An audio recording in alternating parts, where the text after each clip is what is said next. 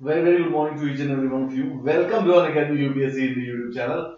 How are we doing today? Obviously, the class has not assembled till now. Well, still we'll be waiting for them. Like and share the video to your friends so that we can get ready. Hi Deepali, how are you doing? Welcome to the class. And a very, very cold good morning to the people who are in the North India. जो जो North India में है, थोड़ी सी ठंड बढ़ गई है, right? Nevertheless गर्मी हो या सर्दी हो बेसिकली एक यूपीएससी एस्पिरेंट के लिए दिन बहुत ज़्यादा मैटर नहीं करता है। व्हाट मैटर्स इज़ दैट कि सुबह सुबह 9 बजे करंट अफेयर करने होते हैं। So my name is Amit and I am your mentor and coach for the civil service exam welcome to the class अगर आपको मुझसे बात करनी है तो जैसे कि मैंने आपको बताया है कि www.unacademy.com/@अमित किलो को अगर आप गूगल के सर्च बार पर डालेंगे तो मेरा अनअकैडमी का प्रोफ़ाइल खुल जाएगा। और उसके बाद आप अपनी अन अकेडमी की ऐप के द्वारा मुझसे डायरेक्टली मैसेज कर सकते हैं।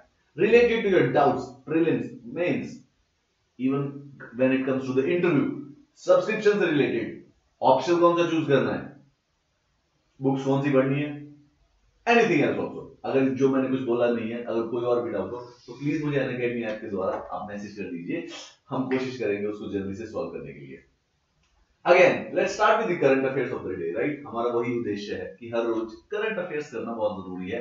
और जैसा मैं बार बार समझा रहा हूँ करंट अफेयर्स करने का सिर्फ़ और सिर्फ़ और सिर्फ़ एक ही तरीका है, रोज सुबह 9 बजे करना। अगर आप मेरी बात को फॉलो कर रहे हो the only right way to do is कि हर रोज न्यूज़पेपर पढ़ेंगे 8 बजे उठ के और 9 बजे करंट अफेयर्स की ये वाली क्लास कर लेना। बियॉन्ड दिस आपको अगले साल जो प्रीलिम्स होने वाला है, उसमें किसी और करंट अफेयर्स कुछ करने की आवश्यकता नहीं पड़ेगी। I will cover every single current affairs even from January 2020 से लेके जो अक्टूबर 2020 तक के जो करंट अफेयर्स बचे हुए हैं, वो भी क्लासेस में, इसी सीरीज़ में कंप्लीट कराएँगे जाएँगे। ऑलराइट ठीक है तो बिना किसी डिले के और बिना किसी विलंब के हम आगे बढ़ते हैं और आज का करंट अफेयर देखते हैं। आज हम सबसे पहले स्टार्ट करेंगे अफ्रीका से। भारत से नहीं, अफ्रीका से इंटरनेशनल रिलेशन का आज मेजर करंट अफेयर है। We will directly go to that and why is it moving like that this happens for the first time चलिए, आपको अनअकैडमी की प्लस सब्सक्रिप्शन के बारे में मैं आपको बाद में बताता हूँ। हम एक्चुअली में पहले करंट अफेयर स्टार्ट करते हैं, काम की बात करने के बाद। फिर मैं आपको दूसरी काम की बात बताऊँगा कि क्यों आपको अनअकैडमी सब्सक्रिप्शन की ज़रूरत है और क्यों लेनी चाहिए और क्या फ़ायदे होंगे। So for that let's move to first situation of the today ठीक है? अफ्रीका में एक देश है, ठीक है? इथियोपिया। ये तो हम जानते हैं ऑब्वियसली हमारा जो भूगोल की जो क्लासेस है वर्ल्ड भूगोल, हमारे एक सब्जेक्ट का पार्ट है so we need to learn हमें ज्योग्राफिकल लोकेशन सारे के सारे देशों की पता होनी चाहिए। सवाल ये है कि अभी अभी रिसेंटली इथियोपिया में सिविल वॉर होने की आशंका हो गई है। यस अब उसके कैसे कैसे रिप्रिकॉशंस हो सकते हैं अफ्रीका पे? More importantly specifically horn of Africa पे। हॉर्न ऑफ़ अफ्रीका क्या है? इथियोपिया इथियोपिया का टिग्रे। ये वाला लोकेशन विच ये ज्योग्राफिकली कहाँ पर लोकेटेड है? और इसके रिप्रिकॉशंस क्या होंगे पूरे के पूरे कॉन्टिनेंट के एरिया पर? हम इसके बारे में बात करेंगे, ठीक है? वर्ल्ड ज्योग्राफी में UPSC usually more less interested रहता है आपसे लोकेशन जानने के बारे में। राइट हर साल हमने पिछले साल के जो 4 अक्टूबर के प्रीलिम्स में कई सारे से क्वेश्चन आंसर देखे थे कि they are always looking to know कि आपको लोकेशन पता हो रिलेटिव टू मतलब कि समुद्र कहाँ पर है Uh, किस लोकेशन के साउथ में है नॉर्थ में है। आई थिंक इस बार सियाचिन ग्लेशियर पे आया था। और भी अगर हम और भी क्वेश्चन जब आगे और फॉरवर्ड डिस्कस करेंगे यू विल सी कि दो या तीन लोकेशन मैप बेस्ड क्वेश्चन हर साल होते ही होते हैं राइट चलिए पहले इंस्टेड ऑफ़ द न्यूज़ हम पहले ये देख लेते हैं कि अफ्रीका का मैप एक्चुअली में होता कैसे। Right we will be discussing about Ethiopia हम इथियोपिया के बारे में बात करेंगे। दिस इज़ द कंट्री जिसके बारे में इस समय हमारा करंट अफेयर है, जहाँ पर एक सिविल वॉर चल रही है। राइट सिविल वॉर मतलब मतलब यार, देश में जो दो गुट है, दो स्टेट्स है, दो डिस्ट्रिक्ट्स है, दो अलग अलग जनजाति के लोग हैं, उन दोनों के बीच में ही किसी प्रकार की लड़ाई चल रही है। थोड़ा सा पॉलिटिकली अनस्टेबल सा माहौल है। उसको सिविल वॉर कहा जाता है। देश के एक दूसरे से ही लड़ाई हो रही होती है राइट सिविल यानी कि लोग एक दूसरे से लड़ रहे हैं मिलिट्री लड़ाई नहीं कर रही है। गुटों के बीच में, समुदायों के बीच में लड़ाई हो रही है। ऐसा हो रहा है इथियोपिया में, ठीक है? मोर स्पेसिफिकली एक रीजन है इथियोपिया का जिसका नाम है टिग्रे। टिग्रे, ये इथियोपिया के जो नदर उत्तरी पार्ट है, यहाँ पर ये लड़ाई हो रही है। इसके बारे में बात करते हैं। However let's focus on the first location जो कि हमें वर्ल्ड ज्योग्राफी के मैप से रिलेटेड क्वेश्चन आना पड़ेगा। अब Africa is a phenomenal continent अगर आप इसको देखोगे तो बहुत ही अमेजिंग कॉन्टिनेंट है, लेकिन पूरा का पूरा कॉन्टिनेंट ऑलमोस्ट हर जगह कॉन्फ्लिक्ट से रिलेटेड है। अगर आप इसका मैप देखोगे कि 2019 में कहाँ कहाँ पे प्रोटेस्ट हुए थे तो 80 प्रतिशत से भी ज़्यादा कॉन्टिनेंट के अंदर इस महाद्वीप में बेसिकली कोई ना कोई प्रोटेस्ट हुआ था। आपको यह पता होना चाहिए कि अफ्रीका के पश्चिम में अटलांटिक ओशन है, उत्तर में मेडिटेरेनियन सी है रेड सी इसको सऊदी अरेबिया से अलग करता है। इंडियन ओशन इसके पूर्व दिशा में है और दक्षिण दिशा में भी इंडियन ओशन है। मेडागास्कर को दूर करता है Mozambique channel again geography class होगी, उसमें ऑब्वियसली इसको डिटेल में डिस्कस किया जाएगा। परंतु द आइडिया ये रहता है कि हमेशा करंट अफेयर्स को स्टैटिक से कनेक्ट करके ही पढ़ना ज़रूरी होता है। अब ये बात ध्यान रखना कि ये जो एरिया है this area is known as horn of Africa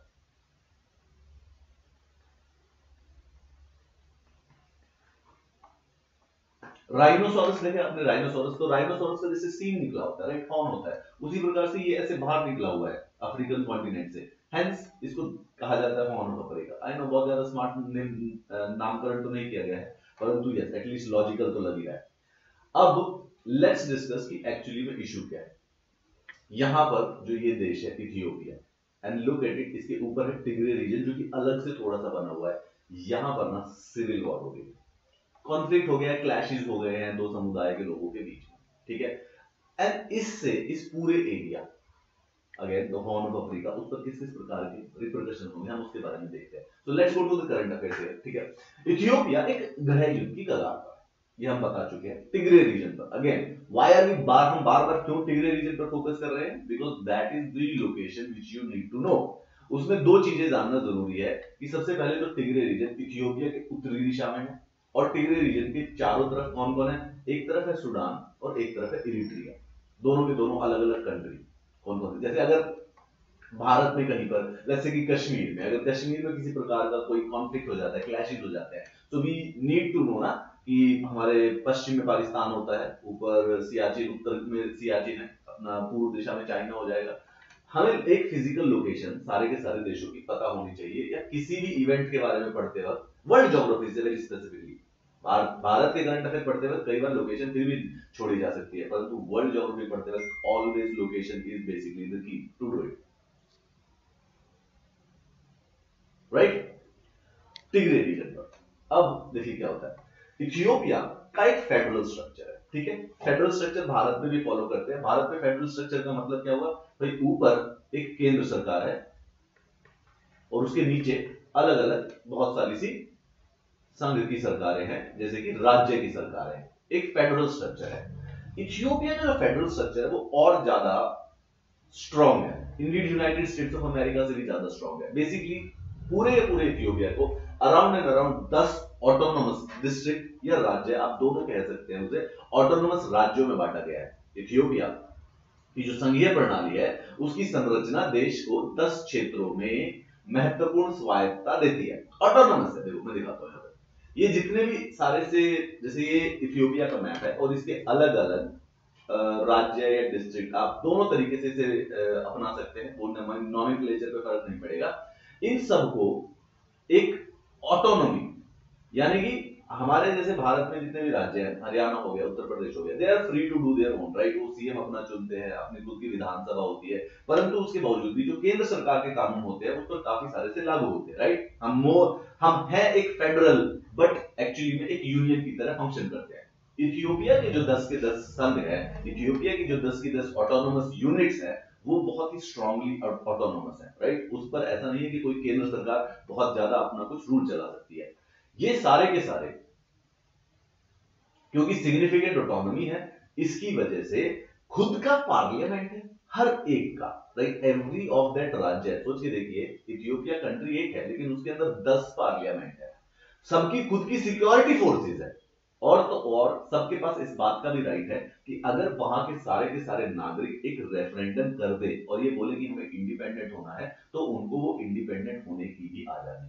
जैसे भारत में अगर ऐसा कुछ करने की कोशिश करा जाएगा तो उसको सेपरेटिज्म का करार दे दिया जाएगा, उस पर सेडिशन का भी चार्जेस लग सकता है। अगर इथियोपिया के जो दस राज्य हैं, उनको अलाउ है, उनको बेसिकली कानून में, संविधान में इस प्रकार के प्रावधान प्रावधान दिया गया है कि अगर वो चाहें तो वो बेसिकली एक रेफरेंडम करा के इथियोपिया से इंडिपेंडेंट हो सकते हैं।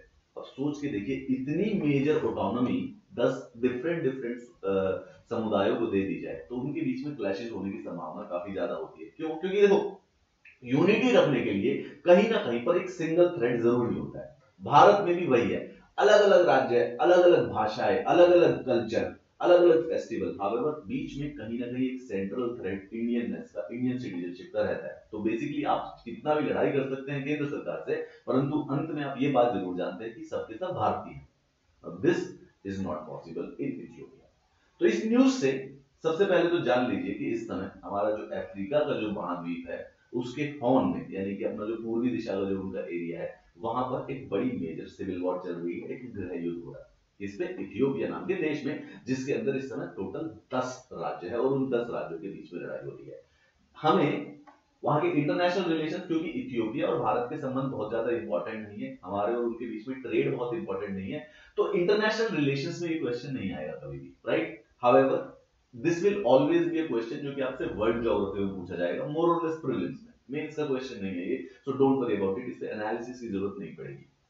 ज़्यादा से ज़्यादा आपको ये जानना ज़रूरी है इसकी एग्जैक्ट लोकेशन जैसे गल्फ ऑफ़ एडेन इसके पास है रेड सी उसके पास है। Again it is not directly connected to Ethiopia एक लैंडलॉक्ड कंट्री है।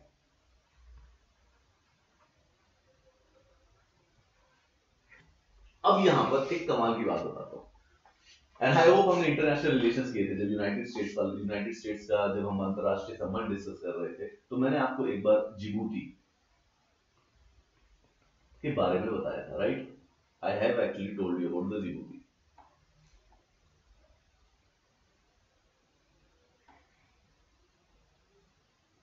union word Canada से लिए साउंड एको हो रहा है? I change the mike actually mike change कर देता हूँ now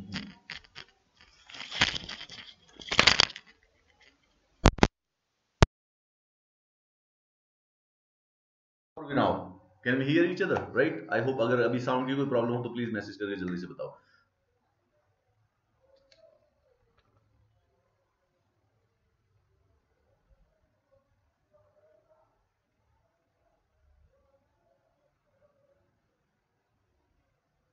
हाँ जब तक जब तक बेसिकली सर स्वयं आके ना बोले कि we need to like the video तब तक हम लाइक करेंगे नहीं कभी भी क्यों क्योंकि सर रोज बोलना पड़ता है तभी करेंगे हम अब अपना रूटीन है until unless you say it we won't do it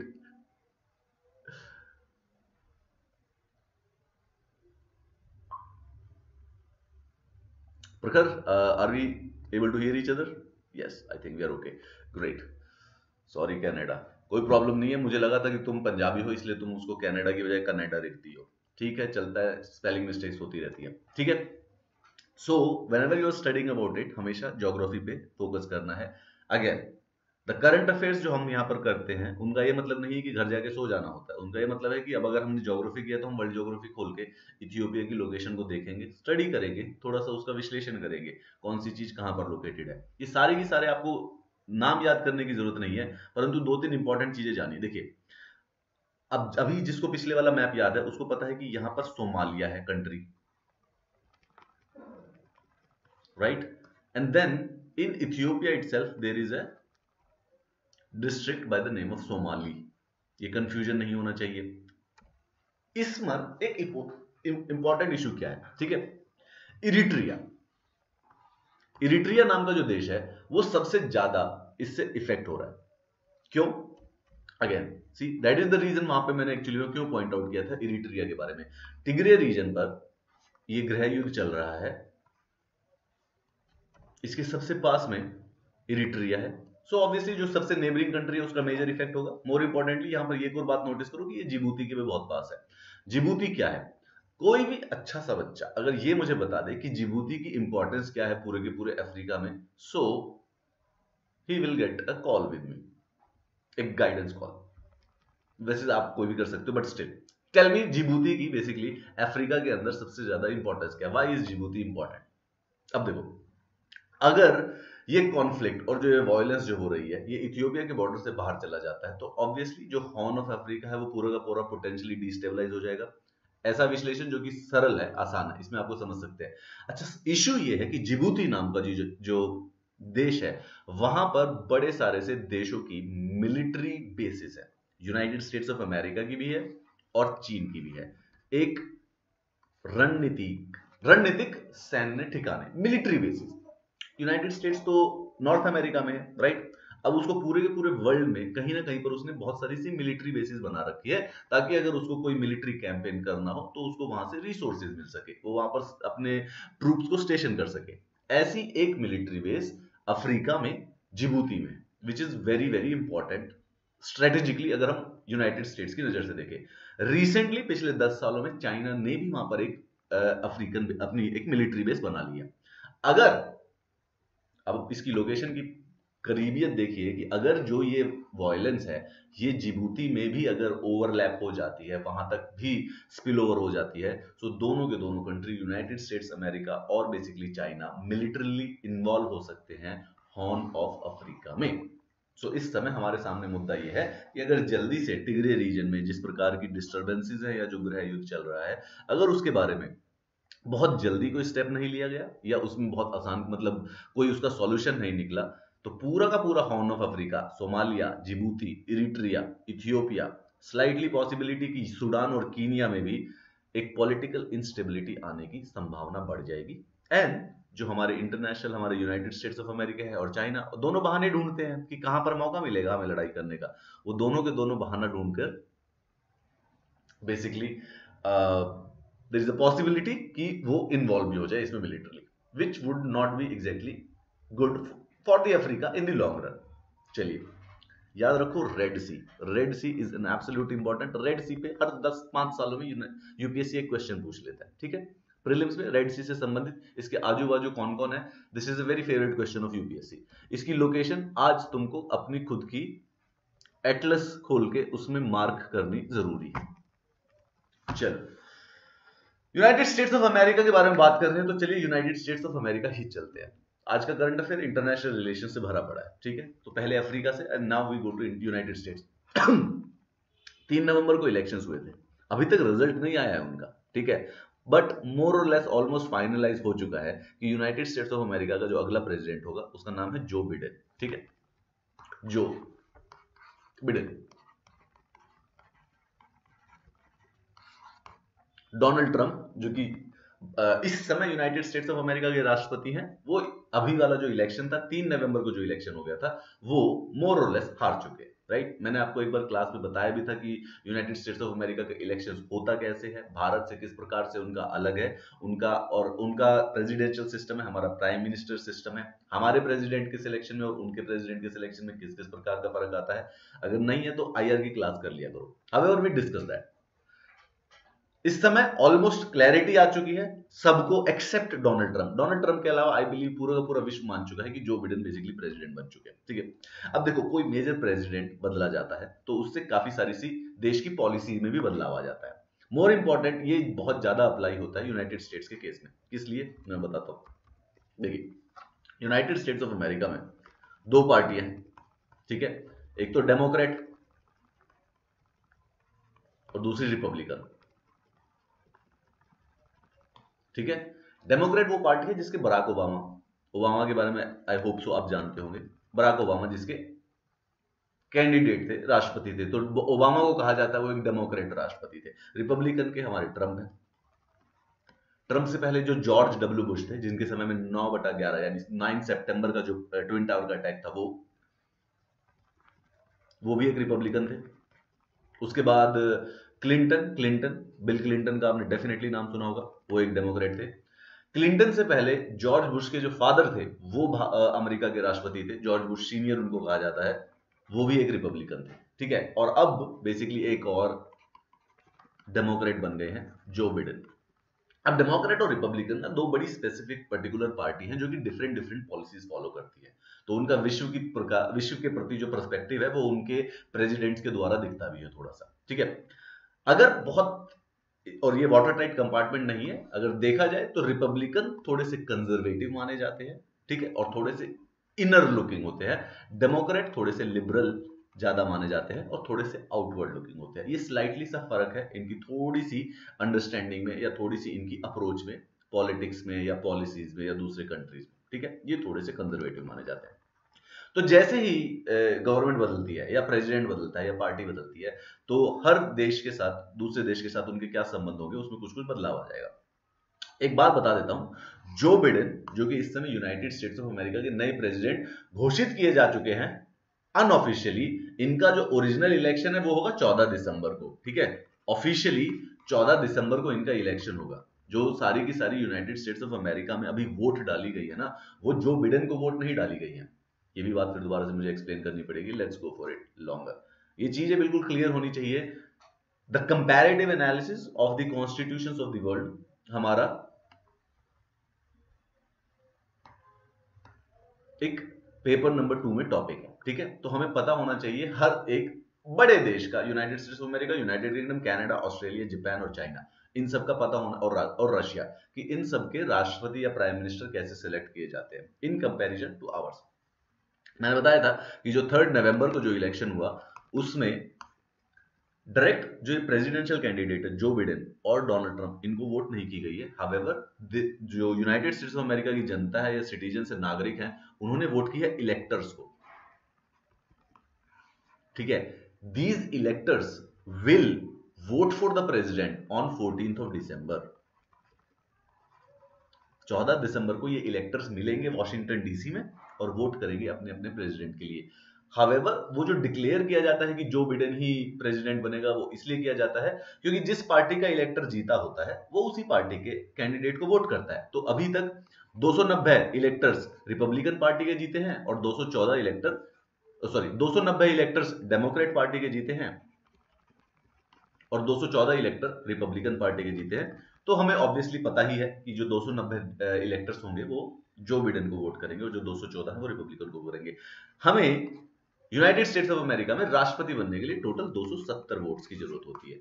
290 Joe Biden को मिल चुके हैं। ये 14 दिसंबर को होगा। फाइनली 6 जनवरी सिक्स ऑफ़ जनवरी को डिक्लेयर होगा ऑफिशियली कि यूनाइटेड स्टेट्स के आने वाले अगले प्रेसिडेंट कौन है, जो कि जो बिडेन होंगे। एंड देन 20 जनवरी को और ये उनके संविधान में लिखा हुआ है, हर चार साल के बाद 20 जनवरी को ही हमेशा नया प्रेसिडेंट शपथ ग्रहण करता है। ठीक है? सो 20 जनवरी को 2021 में जो बिडेन नई प्रेसिडेंटशिप ले लेंगे कोई भी दिन उससे फ़र्क नहीं पड़ता संडे सैटरडे मंडे ट्यूसडे हमेशा होता 20 जनवरी को है। डोनाल्ड ट्रंप भी 20 जनवरी को प्रेसिडेंट बने थे बराक ओबामा भी दो बार बने थे, दोनों बार 20 जनवरी को ही उन्होंने शपथ ग्रहण शपथ ग्रहण की थी। ठीक है? डन है। अब फाइनली अगर आपको ये समझ में आ गया कि जो बिडेन प्रेसिडेंट बन चुके राइट तो अब भारत और अमेरिका के जो संबंध है, जो रिश्ते हैं, उनमें किस प्रकार का बदलाव आ सकता है जो बिडेन के प्रेसिडेंट बनने पर? ये हमें समझना है राइट इसमें क्या बदलाव होगा? सबसे पहले तो हमें यह जानना ज़रूरी है कि डोनाल्ड ट्रंप के साथ जब जब डोनाल्ड ट्रंप राष्ट्रपति थे तो हमारे बीच में किस प्रकार के संबंध थे? अब क्या कहते हैं ये? Howdy Modi and Namaste Trump है ना? तो आप एटलीस्ट ये तो जानते हो कि भाई ट्रंप और मोदी जी की बड़ी यारी और दोस्ती थी। एक दूसरे के बड़े नमस्ते, क्या था? ट्रंप नमस्ते ट्रंप मोदी जी एक बार टेक्सास गए थे, ठीक है? तो वहाँ पर एक बड़ा सा समारोह किया गया था, जिसका नाम था हाउडी मोदी। हाउडी का मतलब हाय मोदी। हाउडी एक, क्या कहते हैं उसे? टेक्सास नाम का जो स्टेट है यूनाइटेड स्टेट्स ऑफ़ अमेरिका में एक तरीके का ग्रीटिंग है। जैसे हमारे यहाँ पर नमस्ते, वहाँ पर हाउडी है राइट तो वहाँ पर हाउडी मोदी था। फिर ट्रंप उसके बाद अहमदाबाद है तो उनके लिए नमस्ते ट्रंप किया गया था। तो वैसे टेक्सास में जीत गए हैं डोनाल्ड ट्रंप क्योंकि वहाँ पर हाउडी मोदी हुआ था। तो मोदी जी गए थे तो ट्रंप को सपोर्ट किया था उन्होंने। तो जितने भी भारतीय अमेरिकन है वहाँ पर, उन्होंने ऑब्वियसली ट्रंप को वोट किया एटलीस्ट टेक्सास में। टेक्सास में वो ज़रूरी जीत गए ठीक है? कमिंग टू द फैक्ट कि इनकी तो दोस्ती थी। अब जो बिडेन के साथ क्या होगा? हम इसके बारे में बात करते हैं, ठीक है? जो बिडेन 2020 के अमेरिकी राष्ट्रपति चुनाव के विजेता कोशिश है। अब पहले बात बताते हैं इंटरेस्टिंग वाली बात कि जो बिडन की हमारे साथ पहले से ही दोस्ती बनी हुई है। जब बराक ओबामा प्रेसिडेंट थे तो उस समय जो बिडन वाइस प्रेसिडेंट थे, ठीक है? बराक ओबामा प्रशासन में उस समय वाइस प्रेसिडेंट थे जो बिडेन उस समय भी इन्होंने काफ़ी सारी सी मदद की थी भारत और यूनाइटेड स्टेट्स ऑफ़ अमेरिका के बीच में जो रणनीतिक जुड़ाव है, उसको गहरा करने में।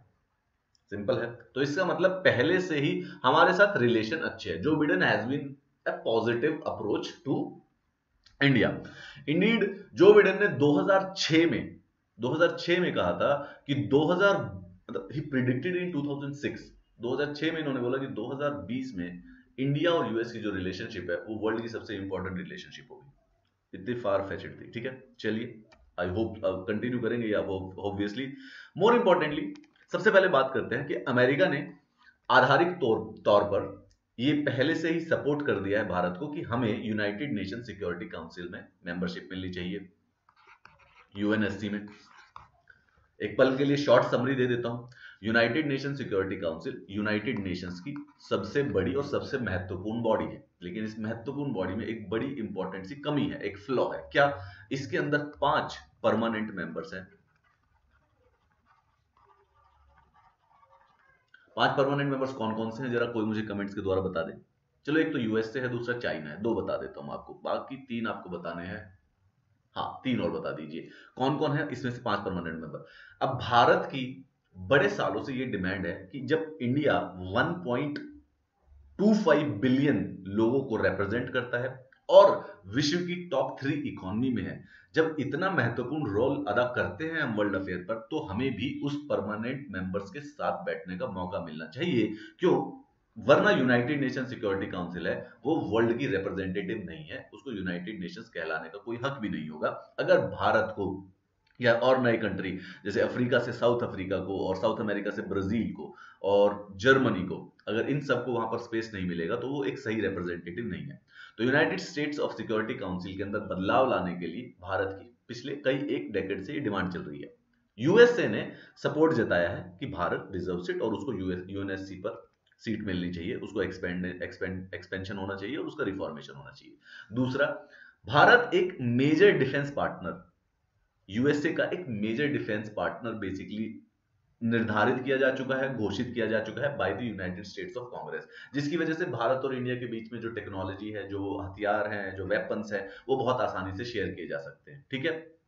ऐसे में ये इंपॉर्टेंट इसलिए था क्योंकि भारत पहला कंट्री था जो यूएस का अलायंस नहीं है यूएस का एलाई नहीं है। एलाई का मतलब यूनाइटेड स्टेट्स ऑफ़ अमेरिका जहाँ लड़ाई करने जाता है, वो उसके साथ चलते हैं। जैसे अगर यूके यूनाइटेड किंगडम एक United States of America ally है। तो अगर यूनाइटेड स्टेट्स कहीं पर लड़ाई करता है, किसी युद्ध में पार्ट लेता है तो यूके उसके साथ पार्ट लेता है। क्यों? क्योंकि वो पहले से ही एक कॉन्ट्रैक्ट में है कि हम एक दूसरे के एलाई हैं। जब मुझ पर लड़ाई होगी तो आप आएँगे, जब आप पर लड़ाई होगी तो हम आएँगे। भारत एक न्यूट्रल देश रहा है और भारत ने कहा कि हम किसी दूसरे की लड़ाई में नहीं हिस्सा लेना चाहते हैं।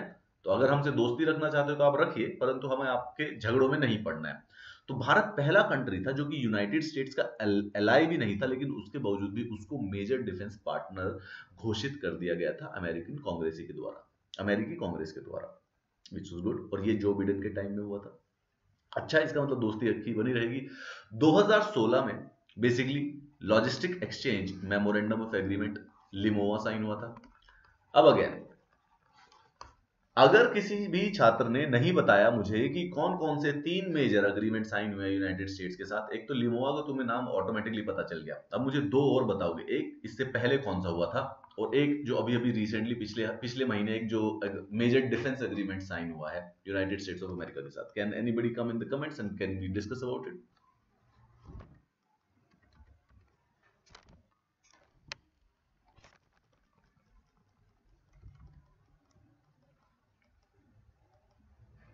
तीन फाउंडेशनल पैक्ट में से पहला हस्ताक्षर। बाकी दो कौन से हैं भाई?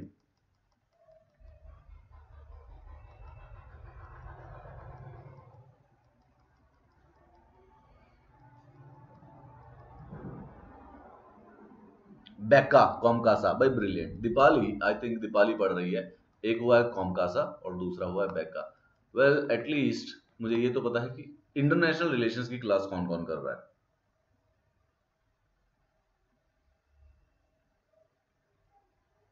China France Russia United Kingdom United States Divyanshi UNSC में ब्रिटेन नहीं है। अरे यार ब्रिटेन ने 400 साल तक पूरे पूरे विश्व पर राज किया था। एंड वर्ल्ड वॉर टू में यूनाइटेड नेशंस बना था। उस समय ब्रिटेन वर्ल्ड का सबसे ज़्यादा पावरफुल नेशन था। ऑफ़ कोर्स यूनाइटेड किंगडम है। कैसे नहीं होगा यूनाइटेड किंगडम कौन रही? 1945 1944 में बना है? ठीक है 1944 में यूनाइटेड नेशन बना है उस समय ब्रिटेन विश्व का सबसे पावरफुल था। उसको कौन हटा सकता था? उसको किसी की हिम्मत नहीं थी कि कोई उसको हटा देता। बिल्कुल सही बताया है, रोशन ने बताया क्या? जो भी बच्चा पहली बार ज्वाइन किया हुआ है प्लीज़ वॉच इट बात सुनिए। भारत और अमेरिका के बीच में तीन फाउंडेशनल मिलिट्री पैक्ट हुए हैं साइन एक का नाम है लिमोवा दूसरे का है कॉमकासा और तीसरे का है बैका। ये बैका जो अग्रीमेंट है अभी अभी दो हफ़्ते पहले साइन हुआ है। इंटरनेशनल रिलेशंस की क्लास थी जिसमें तीनों के तीनों बहुत ही ज़्यादा डिटेल्ड में डिस्कस्ड है। No matter what you do ये जो बैका एग्रीमेंट है, ये इस बार के मेन्स में इस चीज़ से रिलेटेड एक क्वेश्चन डेफिनेटली है। अगले साल के प्रीलिम्स में इन तीनों फाउंडेशनल पैक्ट से एक रिलेशन एक क्वेश्चन पक्का ही पक्का है। अगर इसके नोट्स बनाकर भी, बनाना भी चाहते हो तो प्लीज़ गो एड वैसे मैं नोट्स करंट अफेयर्स के बनाने के लिए मना कर देता हूँ, परंतु ये जो तीन टॉपिक है, इसके नोट्स बना लीजिए। This topic is not going away ये अगले दो साल तक इंपॉर्टेंट वाला टॉपिक है। ओके? लेमोवा कॉमकासा और बैका ये तीन अग्रीमेंट भारत और यूएसए के बीच में साइन हुए हैं। बिडन के बारे में कहा जाता है कि बिडन ट्रंप एडमिनिस्ट्रेशन, यानी डोनाल्ड ट्रंप का जो प्रशासन था, उससे कम ऑब्स्ट्रक्टिव होगा। ऑब्स्ट्रक्टिव का क्या मतलब है? देखिए, ट्रंप जब प्रेसिडेंट बने ना तो ट्रंप का सिंपल सा पर्सपेक्टिव था कि किसी भी देश के साथ जब भी ट्रेड करो तो अमेरिका का फ़ायदा होना चाहिए हमेशा। उनको लगता था कि ट्रेड एक ज़ीरो सम गेम है। ज़ीरो सम गेम का मतलब है कि अगर मुझे डायरेक्ट फ़ायदा नहीं दिख रहा है प्रॉफिट नहीं दिख रहा है तो इसका मतलब ट्रेड नहीं करना मुझे। हावेवर बिडेन जो यूजुअली जनरली यूएसए की जो परस्पेक्टिव रहती है ट्रेड में एक दूसरे के साथ हेल्प वेल्प करना मदद करना उसकी वजह से आ, क्या कहते हैं ऐसा मानना है कि बिडेन के प्रेसिडेंट बनने पर जो ट्रंप जितना कभी आपने न्यूज़ सुना था वो हार्ली डेविडसन के ऊपर हमने टैक्स लगा रखा था वो हमारे ऊपर टैक्स लगा के बैठ गया था। वो कोई और बात होती उसको क्लाइमेट चेंज पैक्ट से कोई प्रॉब्लम थी तो वो हमें ब्लेम कर देता था कि हम पॉल्यूशन कर रहे हैं। सो so, जो ट्रंप का जो ऑब्स्ट्रक्टिव एटीट्यूड था उनके प्रशासन का शायद उसके अंदर अब डेफिनेटली कमी आएगी अगर जो बिडेन प्रेसिडेंट बन चुके हैं तो। ठीक है? दूसरा अब एक rule based trading system rule based trading system का मतलब क्या है?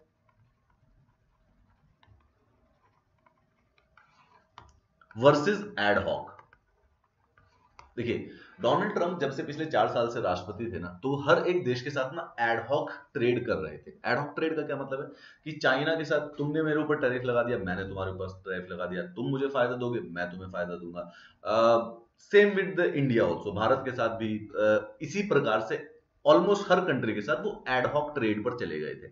हावेवर बिडेन की प्रेसिडेंसी पर होप की जा रही है आशा की जा रही है कि एक रूल बेस्ड ट्रेडिंग सिस्टम पे फिर दोबारा से अप्लाई किया जाए। ठीक है? जो प्रोटेक्शनिस्ट अप्रोच अमेरिका फ़र्स्ट ये डोनाल्ड ट्रंप का इलेक्शन का स्लोगन था 2016 में अमेरिकन अमेरिका फ़र्स्ट 2016 में. उसको बदल के ये प्रोटेक्शनिस्ट अप्रोच थी, ठीक है? यूएस के किसी भी बात पर उनकी कोई जॉब थी, कोई भी सेक्टर था coal sector energy sector software sector manufacturing sector उन सब में अमेरिका ने एक प्रोटेक्शनिस्ट अप्रोच अपनाना स्टार्ट कर दिया था. उनको लगता था कि अगर चाइना में किसी प्रकार की मैन्युफैक्चरिंग हो रही है तो उसको बंद करवाओ. हमें वो वापस दो। ऐसे प्रोटेक्शनिस्ट अप्रोच से पूरे के पूरे विश्व ट्रेड में कई बार अस्थिरता दिखी थी पिछले चार सालों में। माना जाता है I hope and people are hoping जो एक्सपर्ट्स है वो होप कर रहे हैं कि जो बिडन के वापस आने पर इसमें बदलाव आएगा और एक सिंपल जो कि रूल बेस्ड ट्रेडिंग जो कि डब्ल्यू वर्ल्ड ट्रेड ऑर्गेनाइजेशन जो रूल्स अप्लाई करती है, उनको वापस से फॉलो किया जाएगा। अभी हम पिछले, जब भी करंट अफेयर्स में बात कर रहे थे, इस बार यूएस और इंडिया के बीच में सबसे इंपॉर्टेंट इशू क्या था? एच वन बी वीज़ा का। एच वन बी वीज़ा अब एच वन बी वीज़ा के बारे में भी अगेन एक सर, अगर समरी में मैं आपको बताऊँ तो क्या क्या है? यूनाइटेड स्टेट्स ऑफ़ अमेरिका हर साल स्किल्ड लोगों को वीज़ा देता है ठीक है? वहाँ पर कोई भी जो स्किल्ड हैं जिनके पास एक पर्टिकुलर लेवल की एक्सपर्टीज है एजुकेशन है वो यूनाइटेड स्टेट्स ऑफ़ अमेरिका में जाकर काम कर सकते हैं एक लिमिटेड टाइम के लिए। उसके लिए एक वीज़ा लगता है जिसको कहा जाता है H one B visa annually ये वीज़ा लिमिटेड होते हैं, ठीक है? जैसे हर साल अराउंड एंड अराउंड एक लाख वीज़ा निकाले जाते हैं, ये एक lakh H one B visa इसमें क्या होता है कि कोई भी अमेरिकन कंपनी किसी भी बाहर के देश से स्किल्ड लोगों को जॉब के लिए अमेरिका में बुला सकती है टेम्पररी टाइम के लिए, छह साल का समय होता है। भारतीय जो होते हैं, वो एच वन बी वीज़ा के सबसे बड़े यूज़र्स हैं। अगर एक लाख वीज़ा निकले हैं तो उसमें से पैंसठ हज़ार एच वन बी वीज़ा भारतीयों को मिल जाता है। मतलब इतना ज़्यादा अप्लाई पे होता है। ऑब्वियसली एक लाख वीज़ा पे अप्लाई चार लाख लोग करते हैं तो थोड़ा लॉटरी बेस्ड सिस्टम होता है, परंतु भारतीय इतने ज़्यादा अप्लाई करते हैं, इतने ज़्यादा डिमांड में है वहाँ पे एक्सपर्टीज के लिए स्किल्स के लिए, कि पैंसठ हज़ार से भी ज़्यादा एच वन वीज़ा जो इंडियंस को मिल जाते थे। इस साल कोरोना की वजह से लॉकडाउन की वजह से और ट्रंप के प्रोटेक्शनिस्ट इनर लुकिंग परस्पेक्टिव की वजह से एच वन बी वीज़ा को बंद कर दिया गया था। जो बिडन होपफुली वापस इसको ऑन करेगा। बिडन ट्रंप की तरह जो माइग्रेंट होते हैं या जो इमिग्रेंट होते हैं दूसरे देश से, उनकी तरफ़ बहुत ज़्यादा नेगेटिव विचार नहीं रखते हैं। इंडीड कम से कम पाँच लाख भारतीय अमेरिकन को शायद सिटीजनशिप भी मिल जाए बिडन की प्रेसिडेंसी में, ठीक है? सो इंडियंस के लिए I think things are getting better as far as the Biden is concern दो चीज़ें और है। India's exclusion from United States of generalise system of preference Bharat का अमेरिका के सामान्यकृत प्रणाली से बहिष्करण। अगर आपने ये नहीं पढ़ा है तो इशू ये है कि डोनाल्ड ट्रंप का जो प्रशासन था, वो भारत को कह रहा था कि हमें कुछ जो चीज़ें यहाँ पर एक्सपोर्ट करते हैं, यूनाइटेड स्टेट्स ऑफ़ अमेरिका जो चीज़ें आती हैं, उनके टैरिफ को बिल्कुल ही खत्म कर दिया जाए, ठीक है? जब ऐसा नहीं किया गया तो यूनाइटेड स्टेट्स ने एक सिस्टम है, US generalise system of preferences, Bharat को एक्सक्लूड कर दिया गया। इस सिस्टम में जो भी देश इंक्लूडेड होता है, उनके प्रोडक्ट को, उनके एक्सपोर्ट को एक प्रेफरेंस दी जाती है, जो देश इसमें इंक्लूडेड नहीं है। जैसे सपोज़ कीजिए Russia obviously generalise system of preference में नहीं है। तो रशिया और भारत का जब सेम प्रोडक्ट वहाँ पर जाएगा तो भारत के प्रोडक्ट को प्रेफरेंस मिल जाएगी। परंतु इस टैरिफ वॉर में हमें सस्पिशन से देखने की वजह से ट्रंप प्रशासन ने भारत को United States of generalise system of preference से बहिष्कार कर दिया गया था, बाहर निकाल दिया गया था। जो बिडन शायद इस बात को वापस रिकंसिडर कर ले। And more importantly data localisation और जो मेडिसिन और मेडिकल डिवाइसेस के प्राइस को, उपकरणों का जो प्राइस है, उसको एक बार लिमिट करने के लिए फिर दोबारा से बिडन प्रेसिडेंसी में इस बारे में डिक्लेरेशन हो सकती है। ठीक है? बात हो सकती है। पॉजिटिव है ये न्यूज़ है ये बहुत रेगुलर न्यूज़ बनती रहेगी चिंता मत करना। इसके बारे में बहुत सारी बातें आने वाली हैं।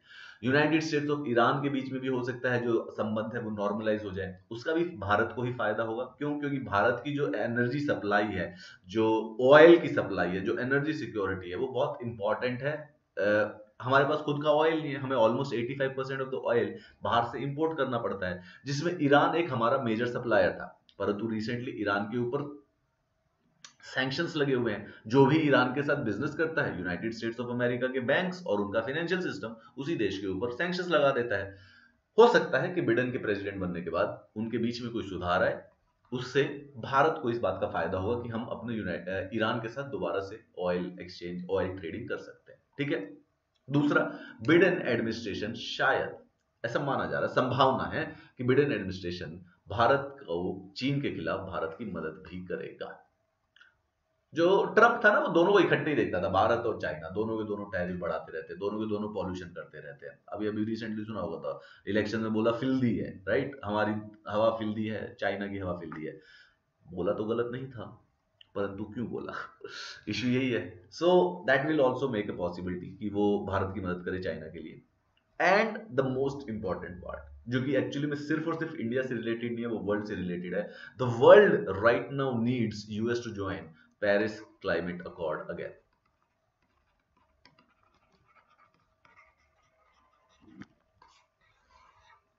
Paris climate accord 2016 में साइन किया गया था बराक ओबामा के द्वारा। उस समय बराक ओबामा राष्ट्रपति थे।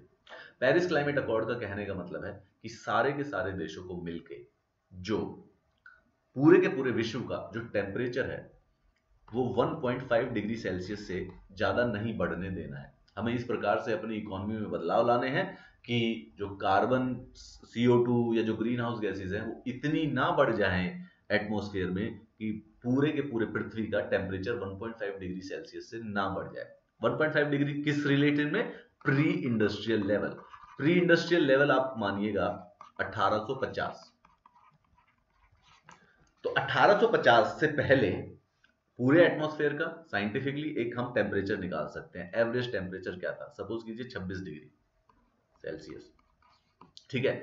अब अगर एवरेज टेम्परेचर अर्थ का दो डिग्री सेल्सियस बढ़ जाएगा 26 से 28 भी हो जाएगा एवरेज ओके पूरे साल का और पूरे के पूरे विश्व का। तो बेसिकली सारी की सारी पोलर आइस कैप मेल्ट हो जाएँगी और क्लाइमेट चेंज इतनी तेज़ी से हो जाएगा कि उसका जो डिस्ट्रक्टिव इफेक्ट्स होंगे कॉन्सिक्वेंसेज होंगे, वो इस समय इमेजिन भी नहीं किए जा सकते। तो सारे के सारे देश मिलकर हर साल मिलते हैं और कोशिश करते हैं इन चीज़ों को रोकने की। 2016 में पेरिस में मीटिंग हुई थी। सारे देशों ने मिलकर ये डिसाइड किया कि हम खुद अपने देश में, अपनी इकोनॉमी पर टारगेट आइडेंटिफाई करेंगे और कोशिश करेंगे इस प्रकार से कि ये जो टेम्परेचर है 1.5 डिग्री सेल्सियस से ऊपर ना बढ़ पाए। क्योंकि दो डिग्री से ऊपर बढ़ गया तो उसके बाद सारी की सारी पोलराइज कैप मेल्ट हो जाएँगी। यूनाइटेड स्टेट्स ऑफ़ अमेरिका ने ट्रंप प्रशासन के तहत इस एक्ट से बाहर निकल गए ये पेरिस क्लाइमेट अकॉर्ड से निकल गए they withdrew from it recently पिछले महीने कंप्लीट हुआ विड्रॉल बिडेन होपफुली आशा की जाती है कि वो वापस क्या नाम है? पेरिस क्लाइमेट अकॉर्ड को ज्वाइन कर लेगा। Very important for us for the world actually right now देश विदेश की बातें काफ़ी हो गई। आइए लोकल बातें करते हैं, हरियाणा के बारे में। हरियाणवी लोगों ने क्या किया भाई? हरियाणवियों ने क्या किया? उन्होंने एक नया कानून पारित किया है, जिसमें प्राइवेट जॉब्स के लिए 75 प्रतिशत सीटें रिज़र्व कर दी है लोकल्स के लिए। मतलब कि हरियाणा में जब भी कोई कंपनी लोगों को हायर करेगी तो 75 प्रतिशत लोग हरियाणा के लोकल होने चाहिए। यह कानून पारित हुआ।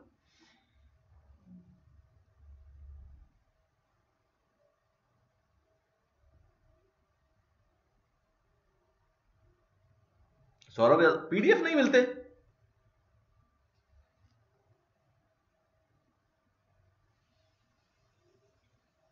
We not getting PDFs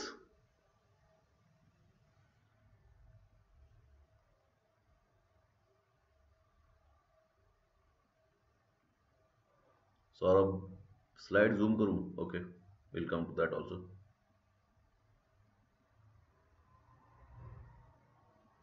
चलो, ये करंट अफेयर के बाद बताता हूँ।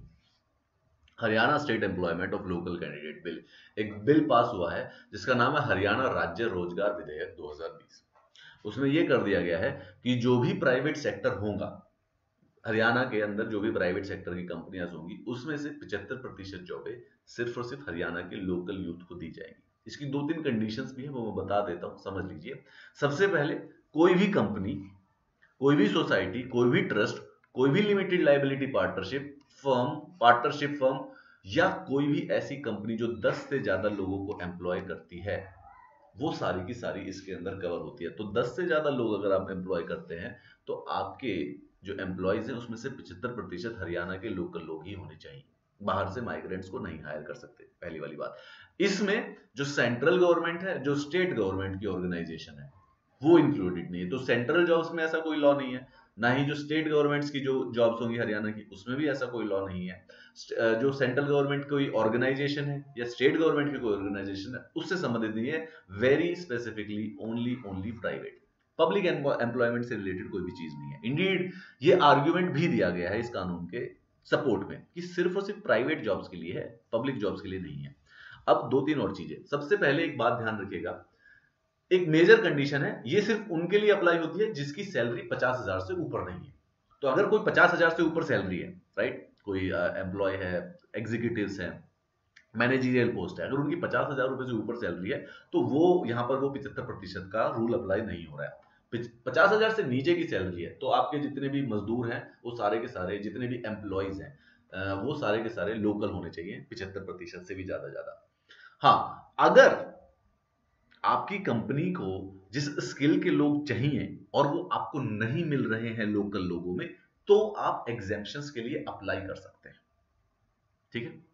अगेन ये तो बात लॉजिक बनती भी है कि अगर पिछहत्तर प्रतिशत लोकल से ही हायर करना है बट सपोज़ कीजिए आपको जो लोग चाहिए, जिस स्किल के लोग चाहिए, वो नहीं हो तो फिर क्या करेंगे? तो ऐसे में एग्जेम्पन भी मिल जाएगी। और अगर बाई चांस वैसे आपने रूल नहीं फॉलो किए तो पाँच लाख रुपए का पूरा का पूरा फाइन भी लग जाएगा।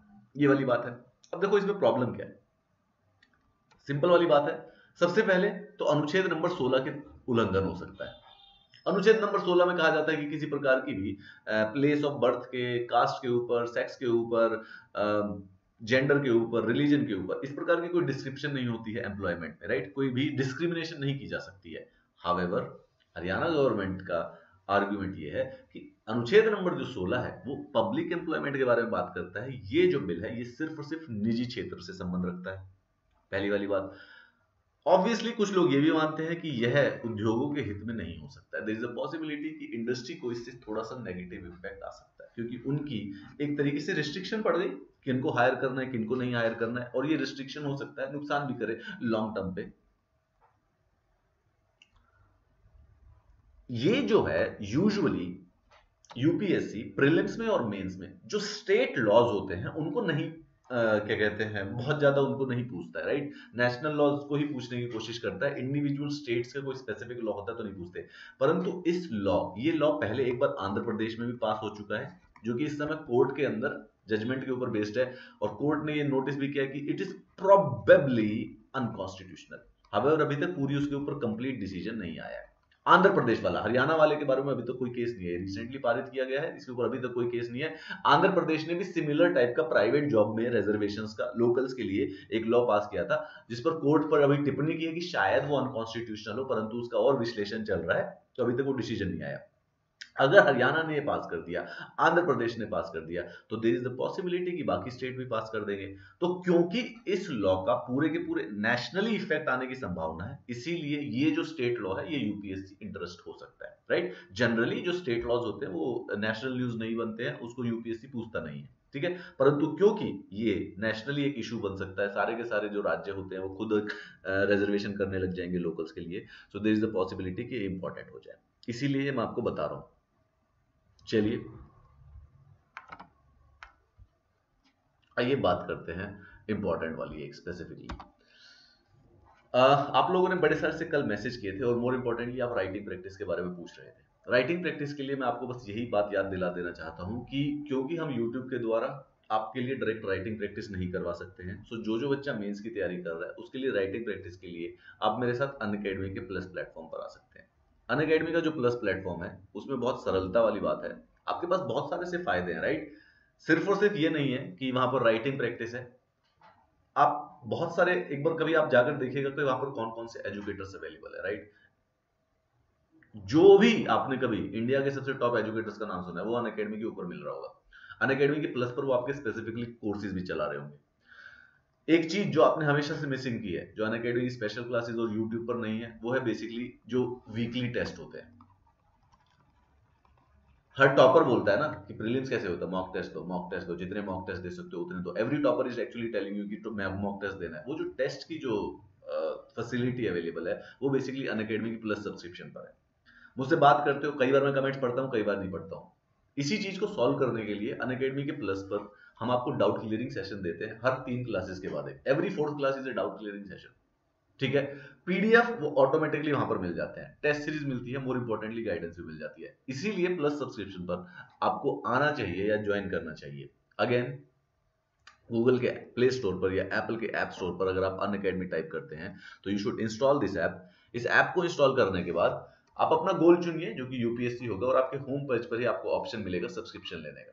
वो आपको आता ही आई बिलीव आप टेक सेवी है फ़ोन यूज़ करना जानते हैं एप्स यूज़ करना जानते हैं, कैसे करना है, ये बात तो आपको बताने की ज़रूरत ही नहीं है। बट मैं आपको ये बता देता हूँ कि जब आप सब्सक्रिप्शन के लिए चूज़ करेंगे तो आप 12 महीने 24 महीने या 36 महीने अपनी खुद की कन्वीनियंस पे, जो 2021 में पेपर दे रहा है तो वो ऑब्वियसली 12 महीने की ही लेगा।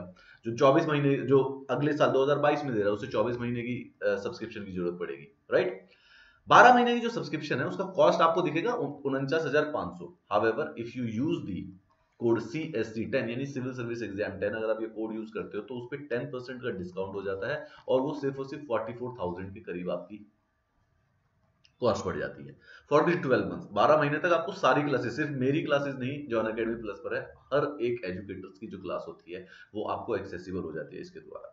इससे संबंधित अगर कोई और डाउट हो तो मुझसे पूछ लीजिएगा, मुझे मैसेज करके। मोर इंपॉर्टेंटली ये कोड याद रखिएगा C S C ten and also this will also give you access to me ताकि मैं आपको गाइड भी कर सकूँ पूरे के पूरे एग्ज़ाम साइकिल में। शाम को सात बजे मिलते हैं इंटरनेशनल रिलेशन की क्लास में। I hope you would not miss it देखते रहिए, जैसे करंट अफेयर और इंटरनेशनल रिलेशन क्लास रोज ओवरलैप करती रहती है तो जिसको इंटरनेशनल क्लास मिस करता है, उसको करंट अफेयर में प्रॉब्लम आती है। जो करंट अफेयर मिस करता है, उसको आईआर में प्रॉब्लम आती है। आज शाम को सात बजे मैं मिलता हूँ आपको यहीं पर यूट्यूब पर इंटरनेशनल क्लास में। बाय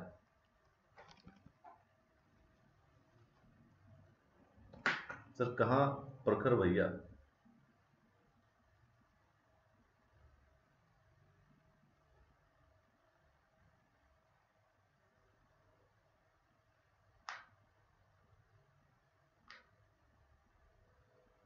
दिव्यांशी अगर जाग रही थी, यहाँ पे फ़ोन नंबर लिख देगी तो उसके पास तो स्पैम हो जाएगा बेटा।